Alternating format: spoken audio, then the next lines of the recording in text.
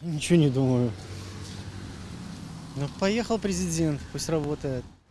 Ну, главное, чтобы Колю не забыл с собой забрать. Он уже с папой знаком, так что как э, радостные, так сказать, сябры сустренутся.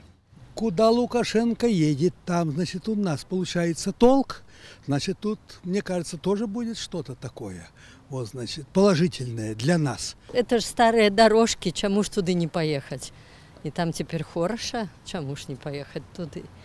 Ну, а, а полякаў у нас же много. І гэта вельмі добра, што ён туды паехаў. Все-таки Ватикан, Италия – это сердце Европы, поэтому, наверное, какие-то политические вопросы будут там решаться. Плюс религиозные, я думаю, тоже у нас страна, которая поддерживает все религии. Наверное, все эти вопросы будут там рассматриваться.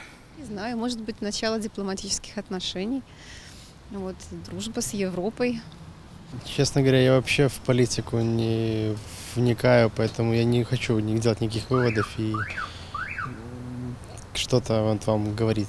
Но чего он едет сегодня, видали, завтра в Китай и так далее, я считаю, что это его дело и право. Ничего не могу сказать. Приедет, узнаем.